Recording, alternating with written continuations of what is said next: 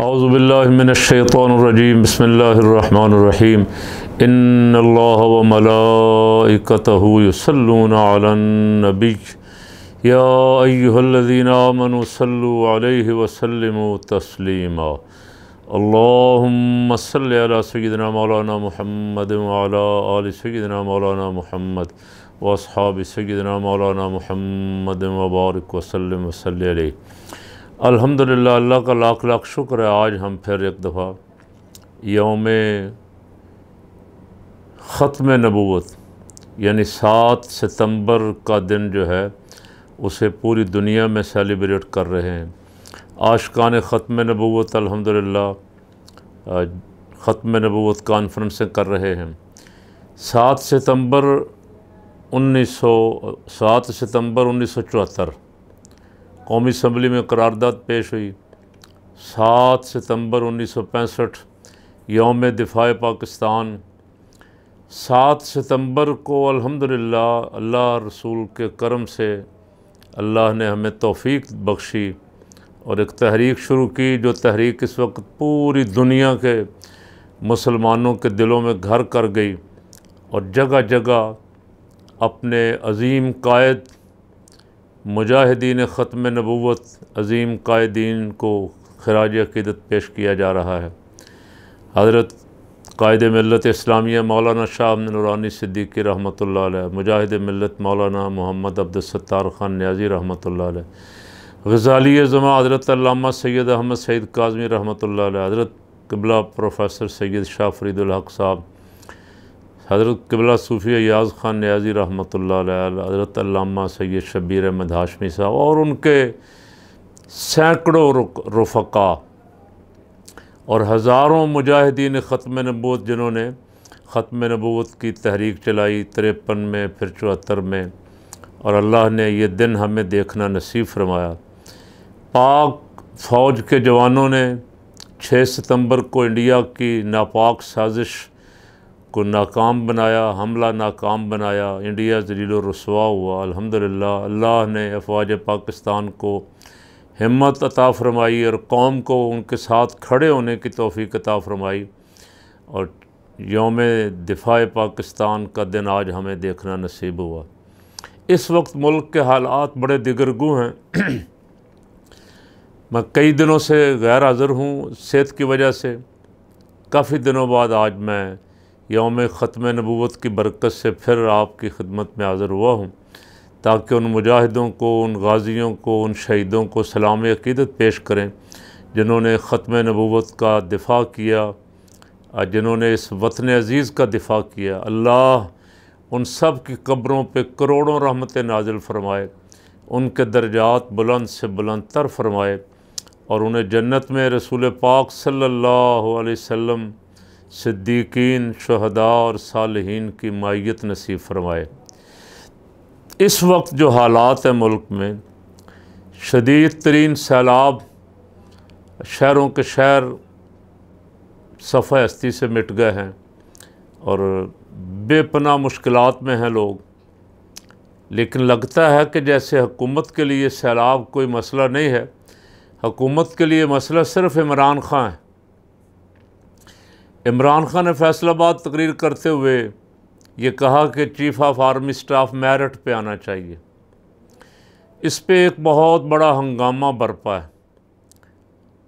वज़ी अजम शहबाज शरीफ साहब का बयान इसी पे ख्वाजा आसफ वज़ी दिफा मरीम औरंगज़ेब, मुसद्दक, आसन इकबाल, फ़लाँ फ़लाँ, जितने भी हैं, आसफ जरदारी आसफ जरदारी का बेटा बिलावल और उनके रफ़ा वो लगता है कि फ़ौज के तर्जमान हैं, अल्लाह करे बन जाएँ।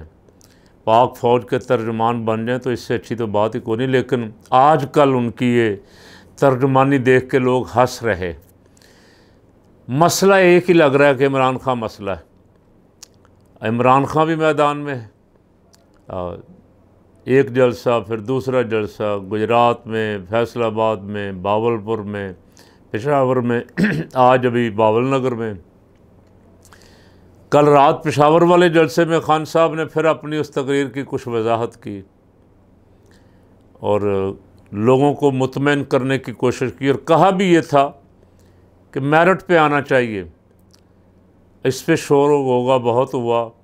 जिन्होंने गालियाँ दी हुई हैं जिन्होंने बुरा भला कहा हुआ है जिन्होंने चैलेंज किया हुआ है जिन्होंने मुल्क की तमाम तर तबाही का ज़िम्मेदार ठहराया हुआ है।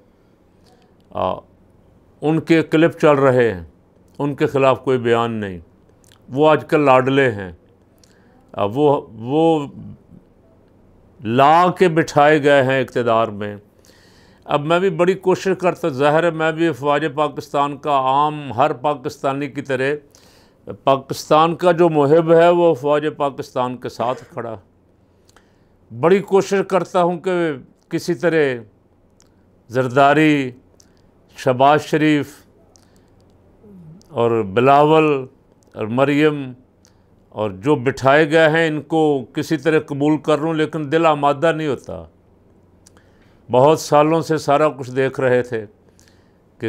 ये कैसे, कहाँ से, कहाँ तक गए, फिर ये सऊदीया कैसे गए, फिर ये वापस लाए गए, फिर ये कुर्सियों पे बिठाए गए, फिर उतारे गए, फिर ये बाहर भेजे गए, फिर अब ला के बिठा दिए गए। अब इसको दिल मान नहीं रहा। किसको कसूरवार ठहराऊँ? किस पे इल्ज़ाम दूँ? ज़ुबान जेब नहीं देती। दिल परेशान है, और ये मेरी कैफियत नहीं है, पूरे मुल्क की ये कैफियत। कुछ ज़बरदस्ती करवाने की कोशिश की जा रही। मुकदमात कायम करके किसी को नाहल कर देंगे, क्या हो जाएगा किसी को नाहल करने से? एक, दो, चार, पाँच, दस, कितने को नाहल करेंगे आप? नाहल करेंगे मुकदमात करेंगे। दहशत गर्दी के मुकदमे तो यहाँ मज़ाक बन गए। अब मेरे जैसा आदमी जो जज के सामने पेश हो तो जज भी कहे कि मुझे शर्मिंदगी है कि आप जैसे आदमी पे दहशत गर्दी का पर्चा है। लेकिन करने वाले जो हैं, उन्हें कोई शर्मिंदगी नहीं है।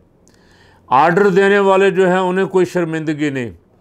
जिन लोगों ने सारी ज़िंदगी मुल्क की खिदमत की है मुल्क से वफा की है, मुल्क के इदारों से वफा की है, अपना हक अगर किसी वक्त छिन भी गया है तो ज़ुबान बंदी रखी है अपनी के यार अपने मुल्क के इदारे हैं। उन पे भी अगर दहशत गर्दी के पर्चे और ऐसे ऐसे केस के इस्लामाबाद का हाई, इस्लामाबाद हाई कोर्ट का चीफ जस्टिस कहता है कि ये देखो केस बनता भी है कि नहीं? और प्रोसिक्यूटर के पास कोई जवाब नहीं है। पर्चा करने वालों के पास कोई जवाब नहीं है। तो खुदा के लिए, पहले जो अजाब आया हुआ, कभी किसी ने गौर किया ये क्यों आया? कुछ हमसे गलत हुआ है? मिन हैसल कौम, कुछ गलत हुआ है जिसकी इतनी बड़ी सज़ा मिली है कि हमें संभलते संभलते कई साल लगेंगे। और जो लोग बेचारे जिनके घर उजड़ गए हैं, उनको आबाद करते करते कई साल लगेंगे। और उसके असरात जो हैं पूरे मुल्क पे अभी आने वाले दिनों में आएँगे। आ भी गए, हर चीज़ महँगी हो रही है। और महँगी करने वाले बहरूपिए जो इस वक्त मसंद वजारतों, वजारत पे बैठे हुए हैं, वो कौम का मज़ाक उड़ा रहे पूरी दुनिया में पेट्रोल सस्ता हो रहा है, वो महँगा कर रहे हैं। बिजली पेट्रोल की वजह से महँगी हुई थी। पेट्रोल सस्ता हो रहा है, पेट्रोल ये महँगा कर रहे हैं तो ज़ाहिर है बिजली भी महँगी करेंगे। बिजली पे ऐसे ऐसे चार्जेस लगा रहे हैं कि बेचारे बेशुमार लोग गरीब जो हैं, बिल देख के हार्ट अटैक हो रहा ख़ुदकुशियाँ कर रहे हैं। कहाँ से बिल दें? बीस हज़ार तनख्वाह वाला तीस हज़ार का बिल कहाँ से दे? वापडा वाले बड़े बेरहम में वो कहते हैं, जी, इस दफ़ा तो देना पड़ेगा, नहीं तो मीटर काट देंगे। हालाँकि मीटर काट के ले जाने का उनके पास कोई इख्तियार नहीं है, लेकिन वो ले जाते हैं। कोई उनको पूछने वाला नहीं। तो ये हालात सारे क्या मैं पूछता हूँ ज़िम्मेदारों से कि सैलाब मसला इस मुल्क का सबसे बड़ा मसला महँगाई था। लेकिन उसके ऊपर सैलाब आ गया और पूरा सिंध सैलाब में डूबा हुआ है। और जरदारी साहब ने आ, उन लोगों को सैलाब जदगान में जो गैर मुल्की इमदाद आई है उनके हवाले की है जिन पे अरबों के केस हैं वो फैल सैलाब जदगान को मदद दे रहे हैं पैसे वो तकसीम कर रहे हैं। और जिस जो सूरत हाल सिंध की है वो मैं और आप देख ही रहे हैं। राशन बाज़ारों में बेचा जा रहा है। राशन देने के लिए कुरान पे हाथ रखवाए जा रहे हैं कि वोट हमें दोगे कि नहीं दोगे। लोगों की बच्चियों से खैमों में जाके ज़्यादती की जा रही है। ये सारा कुछ मीडिया रिपोर्ट कर रहा है। काश किसी की आँखें खुल जाएँ कि मुल्क का मसला इस वक्त इमरान खान है या ये हैं। लेकिन लगता है कि इतना खौफ उनको, एक एक फ़र्द का इतना खौफ तारी हुआ है ये आया कि आया, आज आया, कल आया, इसको किसी तरह रोको। इसको नाअहल करार दो, इसको दहशतगर्द करार दो, इसको इतने मुकदमात में उलझा दो कि ये ना निकल निकल ही ना सके बाहर। मीडिया बंद कर दो, मीडिया पे पाबंदियाँ लगा दो। तो साहब आप अपना नुकसान कर रहे हैं। मीडिया पे पाबंदियाँ लगाएँगे, जितना किसी को बंद करने की कोशिश करेंगे, उतना ही वो उभरेगा। इसलिए मुल्क पे रहम करें। मुल्क के हालात पे गौर करें मुल्क के जो असल मसले हैं उन पर तवज्जो दें और जिस जिस की ज़िम्मेदारी है साफ़ शफाफ इलेक्शन करवाएँ और आवाम जिनको मंतखब करें जिन्हें पसंद करें आ, उनको आने दें और इख्तियार और इकतदार उनके सपुर्द करें और इस मुल्क की बेहतरी इस मुल्क की भलाई के लिए अल्लाह के हजूर दुआ करें ये सैलाब और बहुत बड़े बड़े हादसा नाराज़गी का सबब हैं। हम दिन रात एक दूसरे के ख़िलाफ़ साजिशों में रहेंगे तो अल्लाह राज़ी तो नहीं हो जाएगा। ये नाराज़गी बढ़ती जाएगी और हम तबाही तबाही और बर्बादी की तरफ़ जाएँगे। अल्लाह इस मुल्क की हिफाजत फरमाए, सात सितंबर के ख़त्म नबूत के शहदा की क़ुरबानियों का सदका अल्लाह इसे कादियानियों और कादियानियों के सारे साथियों की साजिशों से महफूज फरमा दे। अंदरूनी बैरूनी साजिशों से महफूज फरमा दे।